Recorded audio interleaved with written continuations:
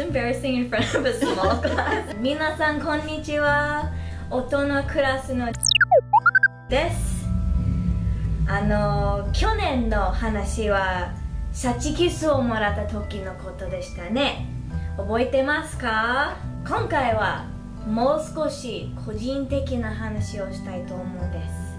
実は私はここ数年病気なんです。私はファイブローマイアルジャーの患者です。日本語で千人筋痛症と言います。説明するのは難しいですけど毎日体が痛いので大変疲れます。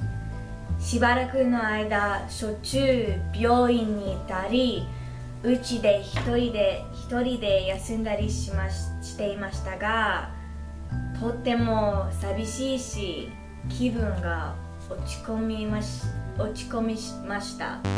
でもこの学校に戻ってから気分が上を向き始めました。今毎週土曜日が楽しみです。えっ、とみんなに会えるし子供たちを教えたりたくさん新しいことを学んだりできるからです。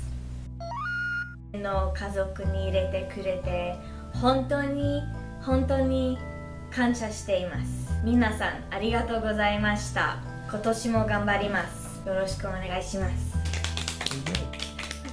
So yeah, um, there was a miscommunication, and my speech was not included in the program, so they didn't have time for me to go up.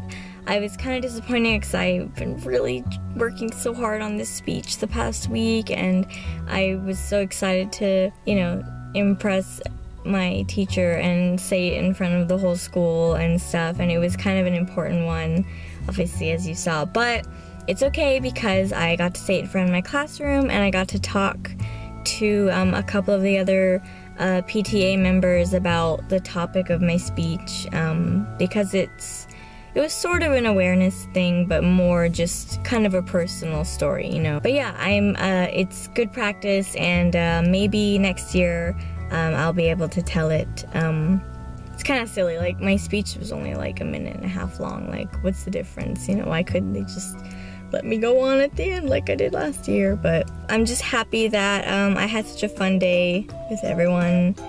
There were rice balls and really yummy stuff, and now I am at the acupuncturist. I'm about to get some treatment and um, probably gonna be wiped out the rest of the day. I've been up since 7 a.m.